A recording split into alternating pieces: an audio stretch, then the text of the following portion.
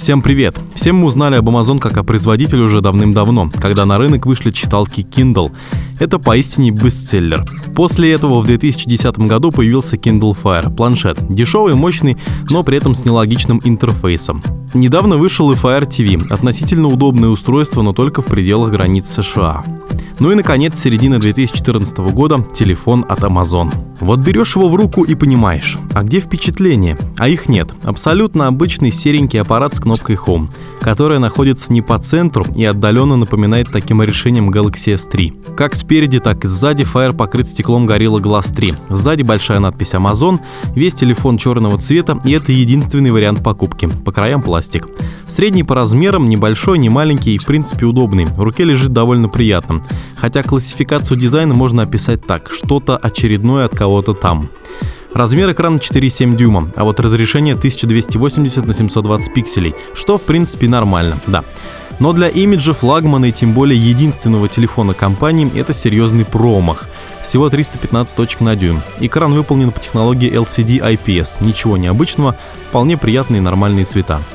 Fire Phone имеет на борту уже относительно старенький Snapdragon 800, 2 гигабайта оперативной памяти и 32 или 64 встроенный. Как ни странно, устройство набирает 30 тысяч баллов в Antutu, что всего лишь на чуточку ниже результатов топовых флагманов середины 2014 года. Да и в целом немедленно он работает, с этим проблем нет никаких. У Fire Phone очень хорошая основная камера. Это 13 мегапикселей и диафрагма 2.0. Фотографии получаются очень и очень даже, на уровне всех последних именно топовых гаджетов вроде iPhone 5s и Galaxy S5.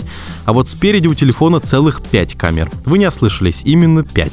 Одна работает как фронтальная, а вот 4 других, которые находятся по углам, отвечают за функцию Dynamic Perspective.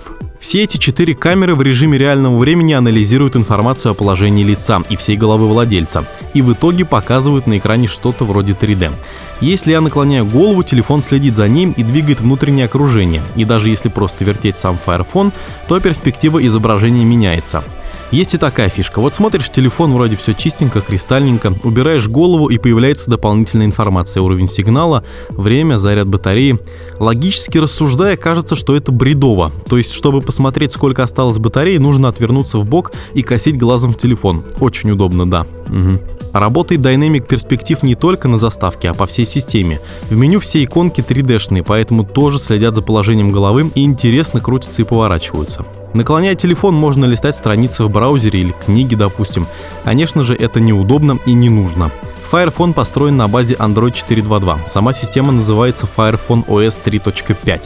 Логика Android и вообще все, что можно, переделано. Все запутано и нелогично. То, что мы видим изначально, это последние запущенные приложения, то есть фактически многозадачность, хотя в привычном виде ее тут вообще нет. Под иконкой приложения, если оно поддерживает эту функцию, показывается, что было открыто ранее в этом приложении. Внизу располагается док с четырьмя иконками, но они же на первой странице все стандартные приложения, и на следующих все загруженное извне. Кстати, есть еще вот такая штука. Если дернуть телефон в бок, откроется меню быстрого доступа. Из этой странички можно попасть в музыку, веб-магазин и так далее. Вот это реально удобная вещь. И, похоже, единственная удобная вещь в этом телефоне. Слева тоже есть меню. Оно показывает погоду и другие события, что-то вроде слабо пахнущего Google Now. Ну а сверху обычный центр уведомлений с тоглами.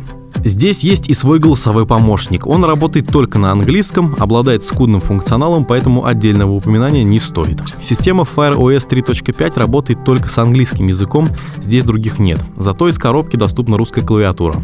Но не все так плохо. У Amazon все же всплыли хорошие идеи. Одна из них сервис под названием Mayday. Вы в любой момент нажимаете на кнопку и перед вами в онлайн режиме сотрудник Amazon, который расскажет вам, как пользоваться телефоном и так далее.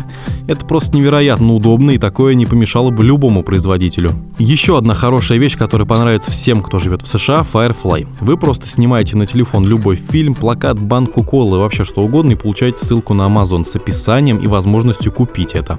Вот, пожалуйста, плакат с Росомахой. В системе нет сервисов Google, но отдельные приложения можно поставить, как и 90% всех Android-программ игр, даже если их нет в Amazon App Store.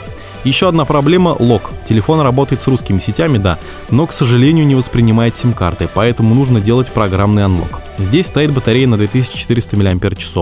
Держит телефон весь день, средний показатель в общем. Ну и самая шокирующая цена. Версия на 32 гигабайта обойдется покупателям в 650 долларов, а на 64 в 750. Почти 25 тысяч рублей за бесполезное устройство, и это как раз самое подлое, что Amazon могли предложить покупателям.